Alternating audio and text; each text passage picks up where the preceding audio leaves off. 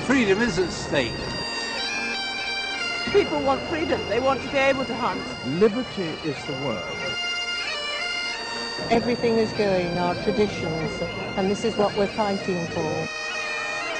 They marched in protest, a silent procession of a people grasping for one last chance to resist, shamefully admitting they only have themselves to blame for government policies that threaten their way of life, their security, and the future of democracy in Britain. We've been very apathetic for years, and now we're paying the price for it. It's a disgrace, really.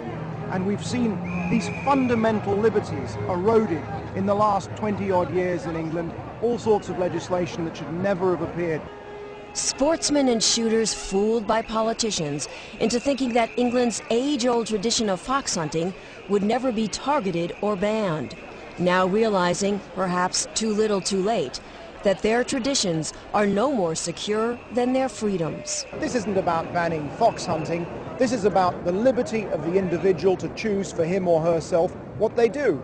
A future that's in doubt, and the largest peaceful protest in British history to try to change that has got many asking, where were these voices six years ago when there was an outright ban on handguns and pistol shooters were forced to surrender their firearms, confiscated by the government to be destroyed? We hear people saying the proposed ban on fox hunting is the thin end of the wedge. I am a pistol shooter. As far as I'm concerned, we've already swallowed the wedge. And where does it go next?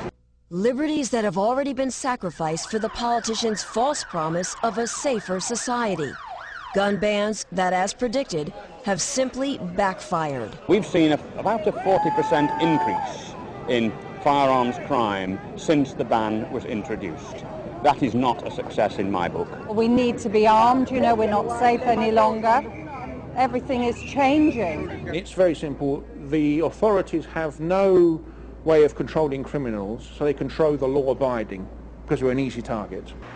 And now, some members of parliament are questioning the government's anti-gun agenda, an agenda that has, without a doubt, failed. The use of weapons in crime has risen dramatically.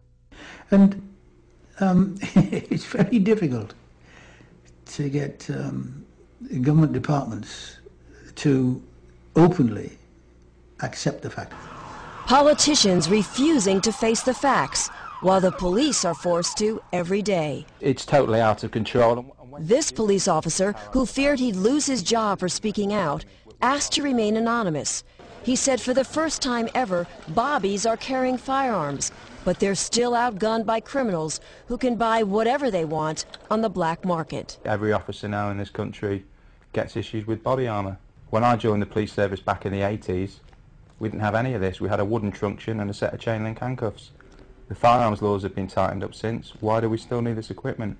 Simply because the criminals have the weapons and they're prepared to use them. Gun policy's gone tragically wrong, and police morale at an all-time low. I feel let down by the politicians, by the senior management in the police. and I feel at present I cannot give the public the service they demand and expect. And as this officer made very clear, it's a law built on a lie. The politicians, basically, they have misled the public. They said, if we ban handguns, the country's going to be a safer place. They ban the handguns, the country is not a safer place. Why are British people not to be trusted? And I think that says a lot about the government. Citizens left defenseless, now victims of the very laws passed to protect them, and asking how many more Tony Martins will there be.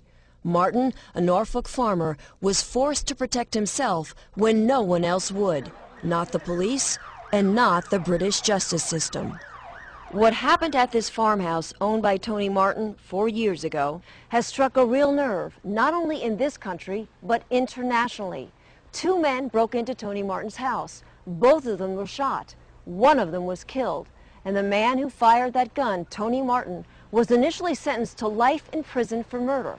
But many people think Tony Martin should never have spent one day in jail. They say he was just an innocent man protecting himself and his property. Tony should not be in a jail, not for what he did.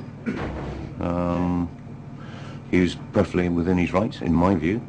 To look after his own property and his own life. My thoughts is that I would do exactly the same, put in the same situation. I would not hesitate to do exactly the same. I personally believe that, uh, you know, if you're in your own house and people come in, then um, they should expect whatever they get. Everybody around was saying the same thing. Uh, you, you must have a right to defend yourself. It has, it has gone too far, swung so far in favour of the criminal. Criminals like those in Tony Martin's case who were no strangers to the law. 16-year-old Fred Barras, who was killed, already had 29 convictions. And 30-year-old Brendan Fearon had 34 convictions and had been in prison for burglary. He was sentenced to three years for trying to break into Tony Martin's home. But after only serving 18 months, he's free while Tony Martin remains in jail and he's now threatening to sue Martin using taxpayers' dollars. The system is, in, is on the side of the criminal, not on the side of the victim. Go and rob somebody and then sue them because they've damaged you. It's absurd. The injustice of a justice system. And although Tony Martin has had his life sentence reduced to manslaughter, he still sits behind bars here at High Point Prison in Suffolk, England, counting the days until he's released. I was the first reporter from the United States allowed to visit with Tony since he's been in prison. And although no cameras were allowed, I was able to talk with Tony by phone. And what you're about to hear is Tony Martin in his own words about that fateful night. Well, I've never really said it publicly before, but I've had a pretty raw deal. I personally think it's very, very wrong for somebody to have to live in their house in fear, but for some unknown reason, there are people in this country who don't know the difference between defending yourself, protecting yourself, and malice aforethought. I thought it was the people that came in the house that were malice aforethought. Chief Constable of Norfolk said that Tony shouldn't have used his gun, that he should have yelled for help while he was in the isolated location. I could scream furthermore and nobody would hear me at 2 o'clock in the morning. Uh, it's just a nonsense, I do believe. It could have quite well been the dead man because there's no question. Um, the police in this area is totally inadequate. I mean, we get little or no support. Police protection, residents here say they can't count on, and they're fed up with being denied the right to defend themselves. We've been broken into several times before.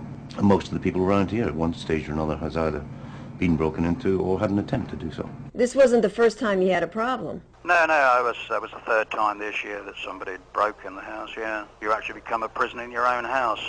I have every sympathy. I genuinely do.